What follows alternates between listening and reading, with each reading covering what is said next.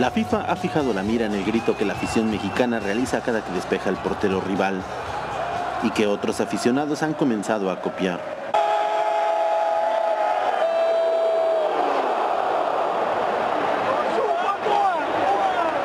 La FIFA envió una carta a la Federación Mexicana de Fútbol advirtiendo que investigará y en su caso sancionará a la Femex Food por el comportamiento de los aficionados en las gradas. We can confirm that we have contacted.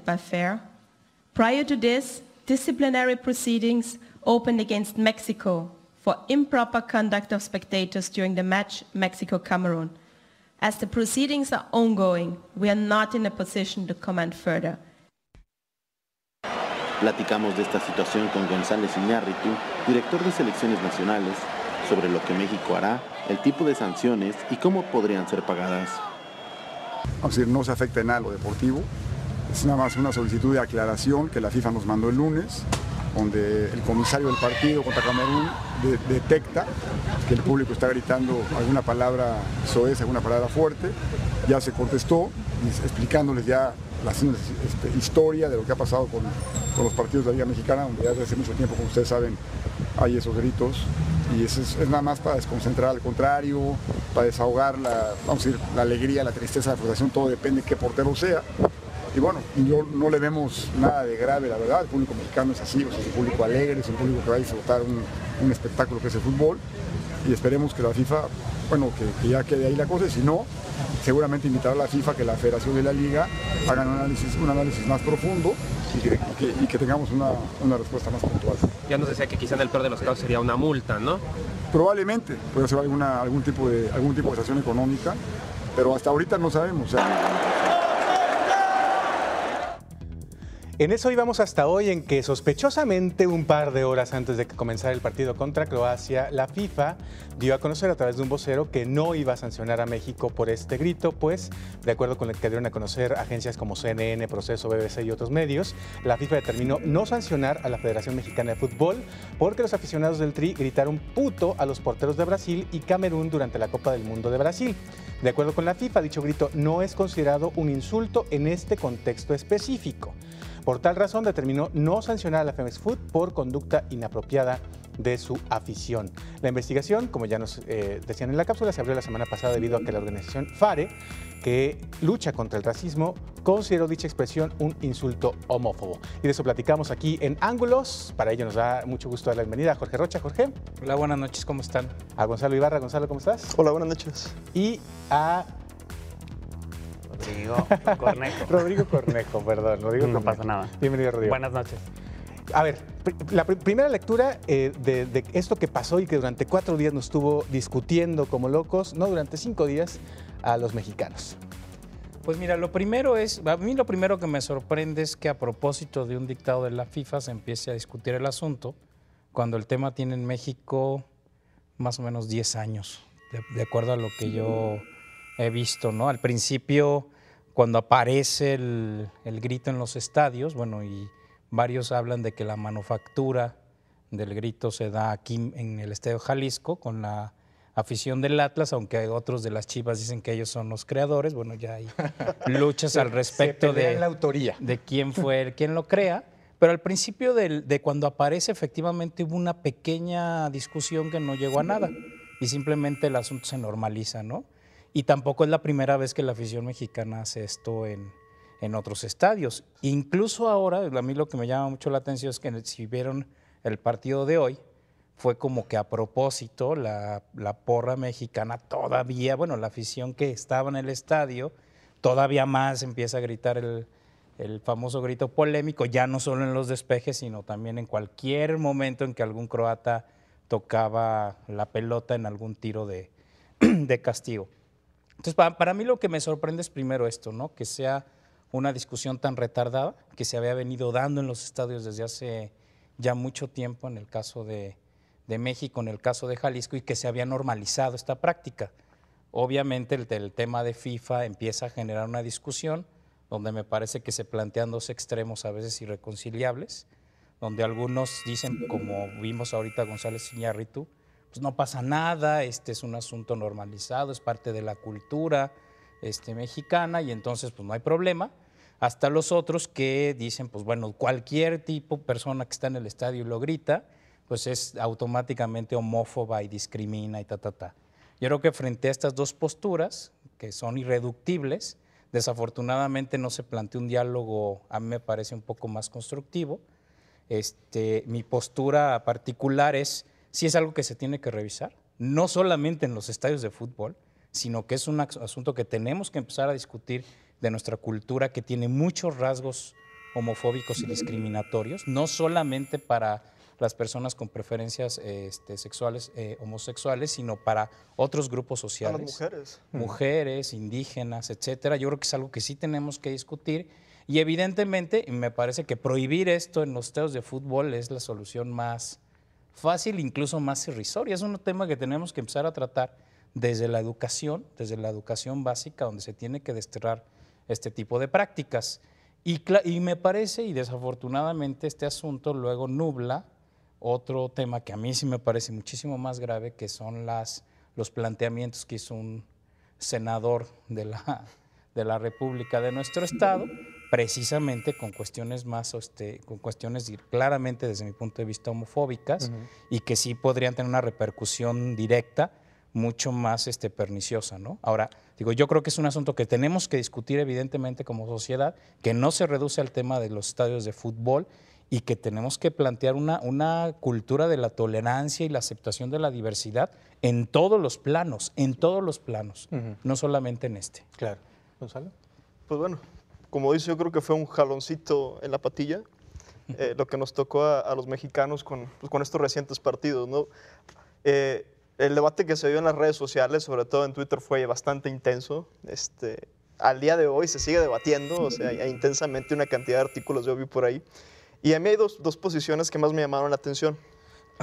Bueno, por un lado, este, digamos, es una palabra que eh, tiene mucho tiempo de uso. Evidentemente, bueno, en, en, fútbol se comenzó a utilizar hace 10 años, pero tiene bastantes años más este, de uso. El origen es totalmente homófobo lo es, o sea, no es una palabra que se inventó para otra cosa. Este, con el tiempo, pues bueno, se le ha ido dando otro tipo de usos, otro, eh, se ha ido normalizando, que es una de las cosas que a mí me parece algo preocupante, el uso de esta palabra. Palabras como estas, palabras como gata, palabras como puta. Como vieja. Como vieja. Como indio. Como indio, como naco. este, que desgraciadamente pues se ha normalizado. Y y lo que vimos en estos partidos del Mundial, pues bueno, eh, por un lado no me parece ninguna justificación este, sacarnos esta espina del regañón o del, jalón de orejo de patilla que nos hizo la FIFA. Yo lo que hubiera esperado de mucha gente, al menos lo que estuve viendo en las redes sociales, pues bueno, sí, suena, suena mal, está bien, no hay, no hay bronca, no hay problema, ¿no? Va, le paramos. Pero desgraciadamente el debate se iba más hacia el derecho de seguir utilizando la palabra y, otra, y darle la vuelta. este, para ofender de regreso a la FIFA, ¿no? O sea, parece que no aprendemos nada. O sea, desgraciadamente eh, cosas como esta nos hacen ver bastante mal a nivel internacional.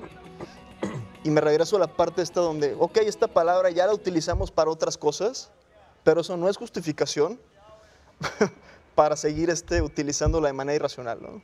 Claro, porque la estamos utilizando sí para ofender, sí para demeritar y sí para eh, utilizarla como una especie de sinónimo de cobarde o para amedrentar al portero del equipo contrario. Rodrigo, tu primera lectura. Exactamente, pues la, solamente hay una, un espectro muy reducido de connotaciones con los cuales se quiere describir a alguien, en este caso un portero, cuando se utiliza esta palabra, falta de valía, de hombría eh, o falta, de, eh, o, falta de tamaños, ¿no?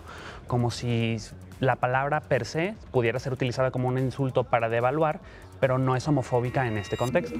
A mí me parece que estas prácticas es difícil, si bien regularlas en tanto que es una expresión cultural, pero no significa que haya que hacer una defensa ultranza del folclore mexicano, en tanto que no debería de ser ni invulnerable por ser una expresión cultural, ni es un derecho el ofender a alguien utilizando un insulto que tiene connotaciones homofóbicas, pero tampoco se puede tratar de normar una expresión cultural con, con mm, con límites claramente delimitados. A mí lo que me parece más riesgoso es este efecto de, de rebote, en tanto que los aficionados reaccionaron de la manera más agresiva posible, dándole la connotación de que la defensa del folclore, del folclore de la porra mexicana está en gritar de la manera más agresiva posible este insulto como si fuera una defensa de la libertad del aficionado de hacer lo que quiera en el estadio.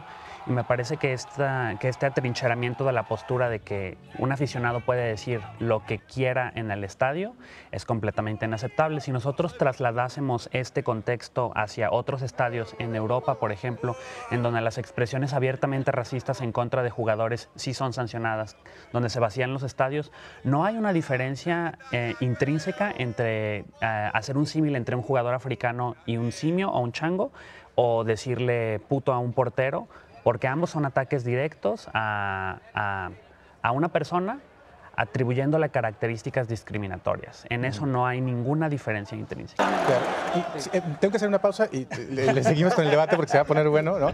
Ahí sí lo debatimos, les decía por eso, primera lectura. Eh, y des, nada más eh, citar a Paco Tortolero, de, eh, que lo tuvimos en Radio Cachaza hace unos días, leyendo la, de Ciencias Jurídicas de la UNAM, leyendo la sentencia que a propósito del uso de la palabra puto para discriminar, para sobajar al, al contrario, dijo la Suprema Corte, cuando hay dos derechos que se contraponen, en este caso el derecho a la libertad de expresión y el derecho a no ser discriminado, el principio pro persona aplica, es decir, mi libertad de expresión termina donde empieza el tuyo, a que yo no te sobaje. Regresamos.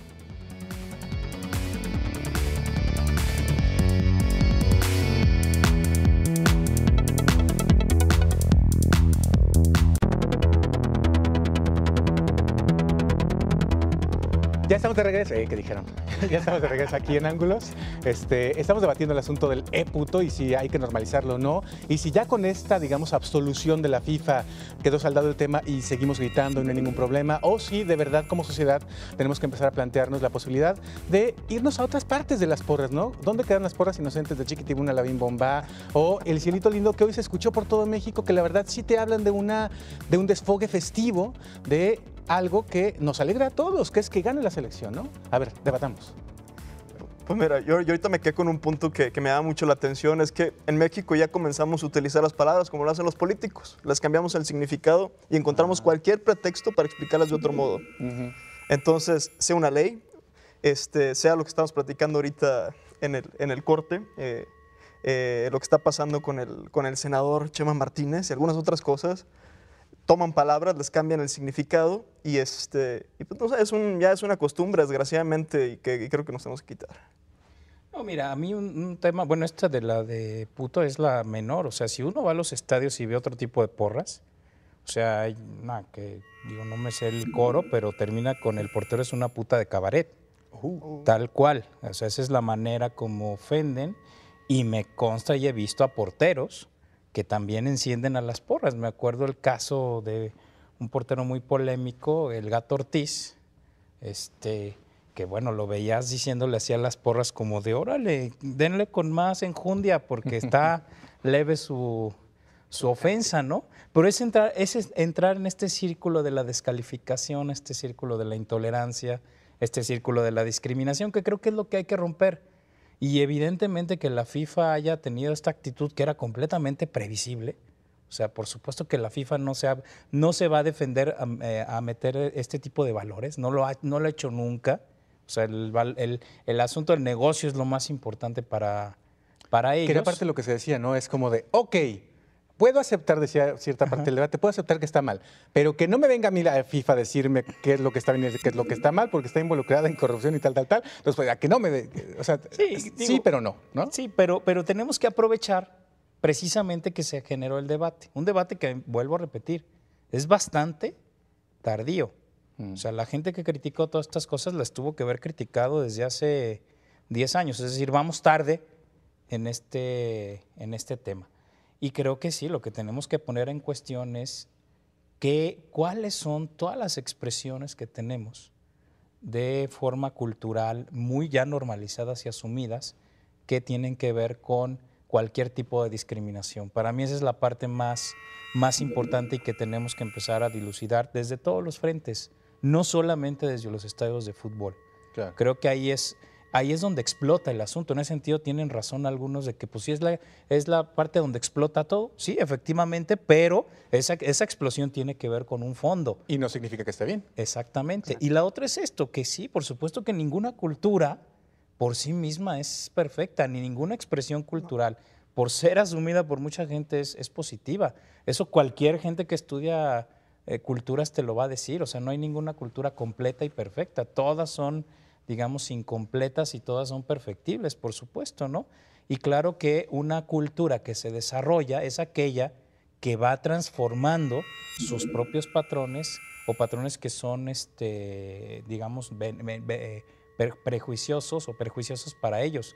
El caso para mí más típico, por ejemplo, donde nos han mostrado un ejemplo de, de cambio son los zapatistas con el tema de las mujeres. Por supuesto que los pueblos, muchos de los pueblos indígenas zapatistas reconocieron que tenían serios problemas de machismo y que han empezado a trabajar. Y eso lo vieron precisamente y a propósito de su interacción con otras, con otras culturas. Y lo han ido trabajando y lo han ido construyendo. eso que dices es el reconocimiento del error. Así es. y, lamentablemente, digo, la, la, banda en los estadios se prende, es la emoción, es la batalla entre dos equipos para ser el campeón, ¿no? Pero lamentablemente la única opción que tenemos es salir con un catálogo de palabras que no son las más afortunadas. Y este, nos ha faltado un poquito de creatividad para impulsar a lo mejor estos cantos como, como estos que estabas diciendo ahora, ¿no? Sí, a mí me parece que hay maneras mucho más creativas de sublimar la emoción, en tanto que como válvula de escape social sí es beneficioso que el fútbol desfogue un poco el encono que puede haber intrínseco a las expresiones sociales de resentimiento entre clases sociales diferentes, a estratos diferentes de la sociedad, niveles de educación. Estas contradicciones muchas veces solamente tienen un desfogue en el deporte y tal vez es la manera más sana de sublimar estas tensiones que subyacen, ¿no?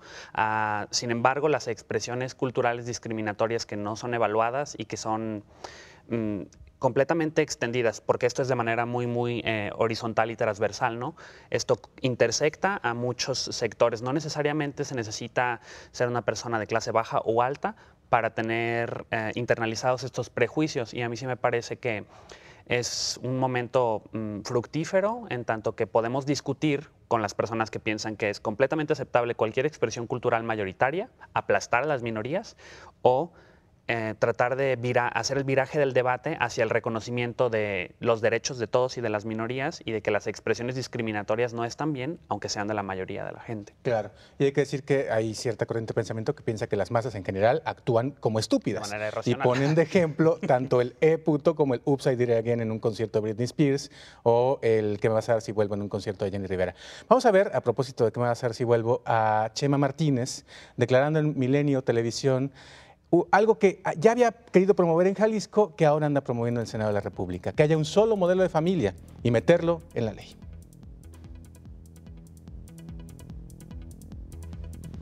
Hoy la Corte ha metido de más su criterio, discúlpeme mi atrevimiento, en términos de la familia. Y hoy algunos estados, en concreto el Distrito Federal, ha ido más allá ha ido incluso a través de modas, tendencias, tratando de adoptar este modelo de familia sin eh, que ello nos signifique a la mayoría de los mexicanos. Tenemos que cerrar la puerta ya a algunas entidades o algunos políticos que están pensando más en modas y en tendencias, incluso que nos han llevado a pensar en la muerte. Tenemos que trabajar en políticas que fortalezcan la familia, a la mujer y también a nuestros jóvenes. No queremos el aborto. Queremos trabajar en función exactamente de la vida.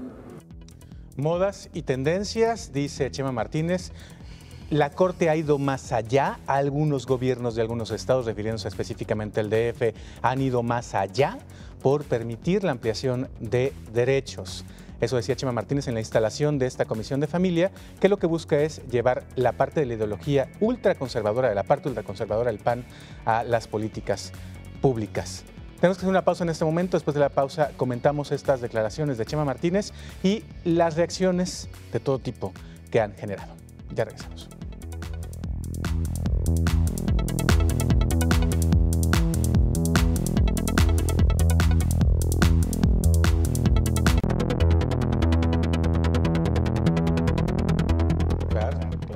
Estamos de regreso aquí en Ángulos platicando acerca del asunto que tiene que ver con la instalación de la Comisión de Familias en el Senado de la República, promovida por Chema Martínez. Y, a ver, ahí es donde yo me empiezo a hacer preguntas.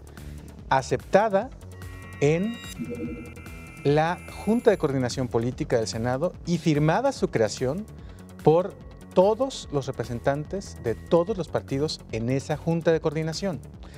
Esta comisión de familias, integrada además por senadores del PT y del PRI. Entonces, a ver, lo que está promoviendo Chema es respaldado por todos o qué?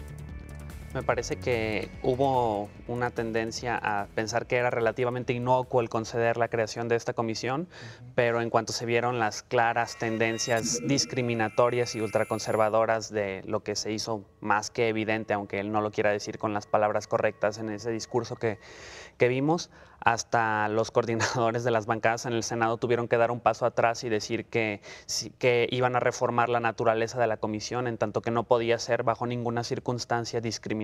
¿No?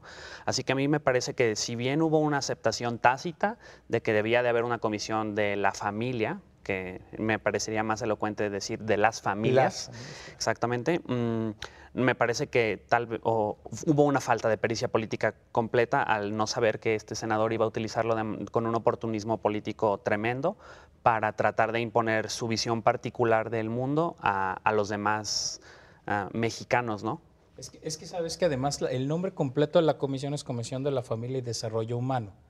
Si alguien llega con una propuesta de ese tipo, pues ningún partido se va a oponer porque sería muy costoso políticamente y ya me imagino yo a Chema Martínez diciendo, los del PRI, los del PRD no aceptaron una comisión de familia y desarrollo humano. Entonces en ese sentido me parece que sí falta, completamente de acuerdo con Rodrigo, que falta pericia política, pero evidentemente estos senadores, yo creo que nadie se tomó la delicadeza de preguntar aquí en Jalisco, oye, a ver, ¿y cómo por dónde va el señor Chema Martínez? Porque obviamente estas cosas no son nuevas.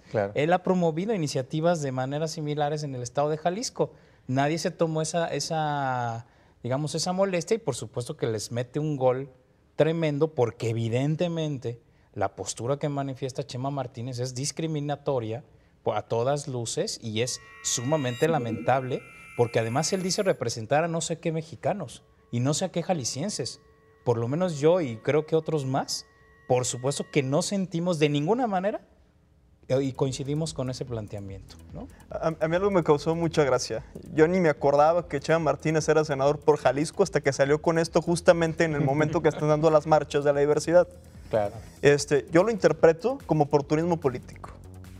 El señor sale en el momento que el tema está más, más, más arriba, está más candente, sale a proponer porque una comisión que ya se había creado desde febrero, este, y no se había instalado. Y no se había instalado, hasta ahorita sale a promover esto. Eh, a mí me huele a que quiere lana para hacer campaña. A mí. Esa es, mi, esa es mi percepción, creando polémica. Desgraciadamente, lo que ha hecho en redes sociales principalmente, es que es un debate muy, muy fuerte, es justamente lo contrario de lo, que, de lo que él dice, de lo que él promueve, porque generó odio, o sea, literal, odio entre la gente al en, estas contestaciones vía Twitter, hmm. descalificando, mentando, este, y una serie de cosas más por ahí, eh, que ha logrado enfrentar a unas personas con otras, con un tema que desgraciadamente no tendríamos que estar tratando ahorita. Un tema superado, ¿no? Claro, y hay que decir que, bueno, efectivamente, eh, para responder a la pregunta de Jorge y un poco secundando tu idea, yo escribí una columna la semana pasada en Publimetro que se llama Chema el engañabobos Reloaded, porque escribí una columna que se llamaba Chema el engañabobos en Milenio en el 2011, cuando él y otras personas desde el PAN instigaron a través de organismos civiles eh, ligados a ese partido una marcha anti-gay en donde les prometió la creación de una comisión de blindaje a la familia, de una legislación de blindaje a la familia en Jalisco. Se las prometió y la promovió supuestamente en el Congreso del Estado, sin embargo, no les cumplió a esas personas que sí le creyeron y lo apoyaron desde el Partido de Acción Nacional para que llegara a ser senador. Hoy hay que ver qué intenciones políticas tiene Chema Martínez o su grupo, porque hay que decir que también hay un grupo ultraconservador que ya por allí un escritor bastante connotado ha identificado como el Yunque, al que este hombre sí representa. Ese esos temas que quieren colocar como de los que son los que verdaderamente defienden a la familia, hay que ponerles el foco desde ahora porque seguramente van a querer con eso colocarse en las elecciones que ya están por arrancar en eh, lo- la- las próximas semanas y meses. Nada más hay que decir que no todo el PAN lo respalda. Eso es No, no, importante. no. De hecho, es que esta es la estrategia que han utilizado algunos partidos como el Verde, de radicalizar mucho su discurso, porque saben que sí hay un sector en México, en Jalisco y en muchas ciudades que son afines a este tipo de ideas. Y eso sí les garantiza votos, votos mínimos, ¿eh?